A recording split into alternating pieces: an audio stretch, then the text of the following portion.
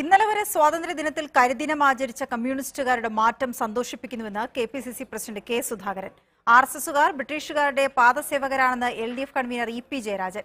തെക്കൻ കേരളത്തിൽ രാഷ്ട്രീയ പാർട്ടികളുടെ ഓഫീസുകളിലും സർക്കാർ സ്ഥാപനങ്ങളിലും വിപുലമായ ആഘോഷ പരിപാടികളാണ് സംഘടിപ്പിക്കപ്പെട്ടത്.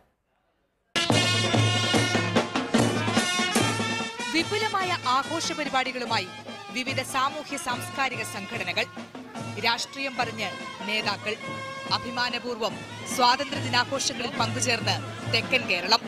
നിയമസഭയിൽ സ്പീക്കർ എം പി രാജേഷ് പതാക ഉയർത്തി.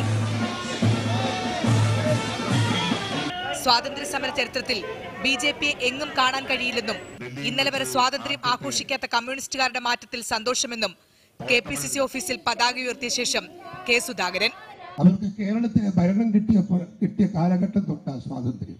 രാഷ്ട്ര ചരിത്രം പരിശോധിച്ചാൽ ബി ജെ പിയുടെ പങ്കാളിത്തം ഇന്ത്യൻ സ്വാതന്ത്ര്യ സമര ചരിത്രത്തിൽ എത്രയാണ് എന്ന് എല്ലാ ആളുകൾക്കും അറിയാം.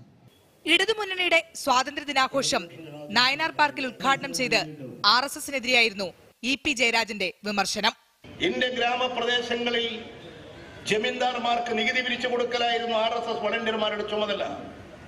അവരുടെ ആദ്യത്തെ വേഷം തന്നെ ഗണവേഷം ബ്രിട്ടീഷ് കൾച്ചറിൽ നിന്ന് രൂപപ്പെട്ടതാണ്. എ കെ ജി സെന്ററിൽ മുതിർന്ന നേതാവ് എസ് രാമചന്ദ്രൻ പിള്ളയും എം എൻ സ്മാരകത്തിൽ കാനം രാജേന്ദ്രനും പതാക ഉയർത്തി. കൊല്ലം ലാൽ ബഹദൂർ ശാസ്ത്രി സ്റ്റേഡിയത്തിൽ മന്ത്രി ജെ ചിഞ്ചുറാണിയും പത്തനംതിട്ടയിൽ മന്ത്രി വീണ ജോർജും പതാക ഉയർത്തി അഭിവാദ്യം സ്വീകരിച്ചു. പത്തനംതിട്ടയിൽ ആദ്യം പതാക ഉയർത്തിയപ്പോൾ പിഴവുണ്ടായതിനെ തുടർന്ന് താഴ്ത്തി വീണ്ടും ഉയർത്തുകയായിരുന്നു.